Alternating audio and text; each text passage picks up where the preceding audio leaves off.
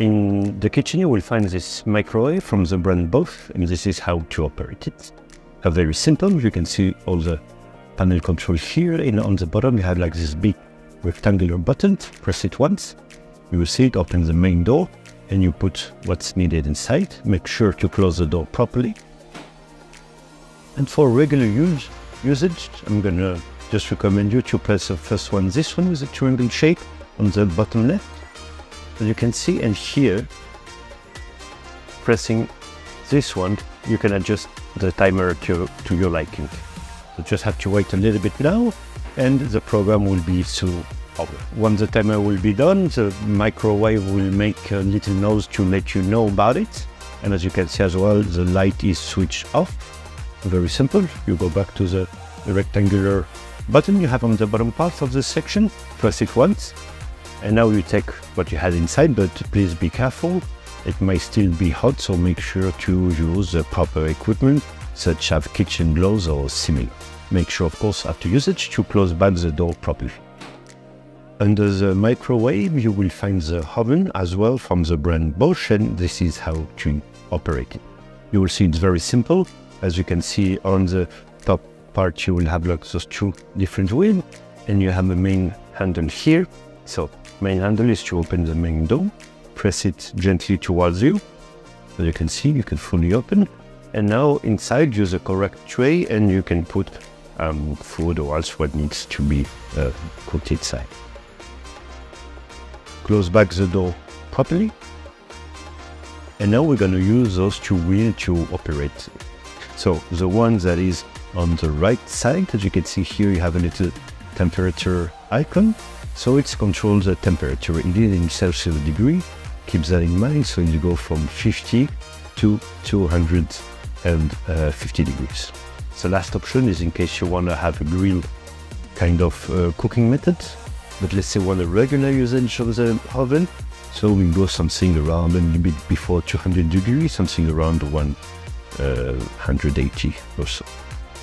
The one that you will find on the left one is to control which um, uh, cooking method you would like. If you want the heat to be distributed from the bottom and the top section, if you want just from the bottom, just from the top, ventilated, and so on. It's very simple to understand following the little uh, drawing you have.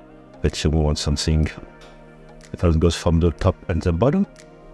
And you can see you already have a light that is switched on and you can see that your oven is uh, functioning now. Once your cooking is done, make sure before opening the main door to switch everything uh, off. Very simple. You go back to this little zero option here. Same for the temperature you see both exist and you can see the light is off so you can take what you had inside out. Same, go back to the handles, pull it toward, gently towards you and please be careful before uh, taking anything out because it may be still very very hot. So same, make sure to use proper equipment such as kitchen glove, a cloth or something to protect you from the heat. Once everything is out, after each usage, make sure to close back the door properly. In the kitchen you will find this hub from the brand Bosch and as you can see you have four different options.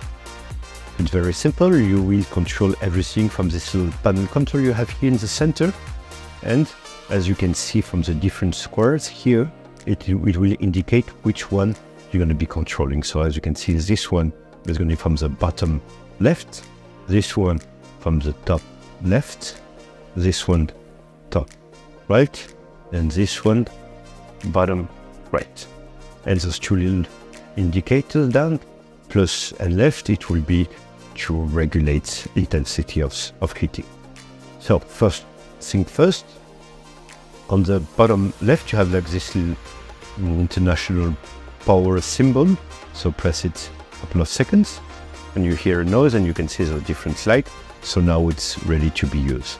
Let's say we want to use a bottom right, which is medium size to say so. So we go to this one and we just press plus button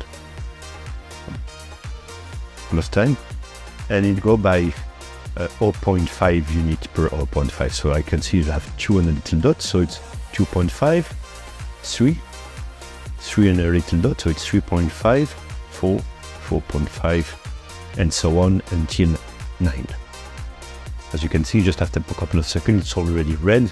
You can really feel the heat, so it goes quite quickly. Of course, you can use several ones. Let's say we want to use now the uh, bottom left. So we go to this one and we do the same.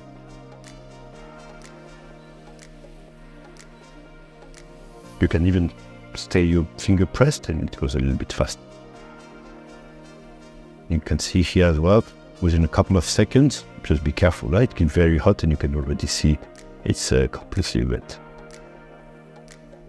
So let's say that you finish cooking, that everything is, is, is, is done and you have taken everything out. Be careful when manipulating around because this might be hot. So we always recommend, of course, to switch everything off. Go back to this bottom left button, power button, pressing for a couple of seconds. And as you can see, you hear the little noise and everything is. Keep in mind that if you see those different symbols here, it's a H that stands for hot and is next to the indicator of each hub. So it means the bottom right one and the bottom left, sorry, and the bottom right one because we just use them, even if it's off. You can see it's still hot. So be careful when manipulating around. So in the kitchen, uh, under the sink on the left side, you will find this uh, little door with a big handle, and this is where the um, washing dishes is located. So take the handle, pull it gently towards you, and as you can see, it is comfortably hidden here. Once it is open and you have filled everything with uh, the dishes you want to clean, you can see here you have two different gray sections that you can open, like so.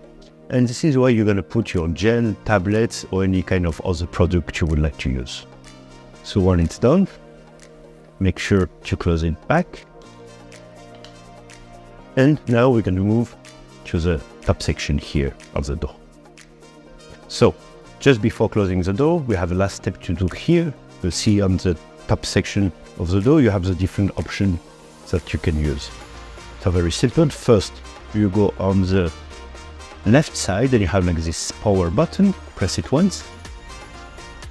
As you can see, you have some light and indicators. It's very easy. You see now on the right section, you have different buttons here, and it's a kind of program you can use. So you can be guided by the little drawing. The one that is on the left, as you can see, it's going to be hotter water, so it's for uh, heavier things, like if you have uh, pans, big dishes, and so on. The one in the middle is going to be for regular glasses, uh, plates, and so on. And the one on the right, which is at the lowest temperature for something more delicate, if you have more delicate uh, glasses and so on. So very simple, let's say on the middle one, you just press it once. Now you see the red light is located on the proper program and just close the door. And as you can hear, um, the washing dishes is already uh, functioning. Once the program is over, feel free to come back Open the washing dishes the same way with a handle, pull it gently toward you, and make sure to take everything out. Same as always, if you use a hot water program, be careful, some glasses or plates may be a little bit hot. And of course, after each usage, make sure to close back the door properly.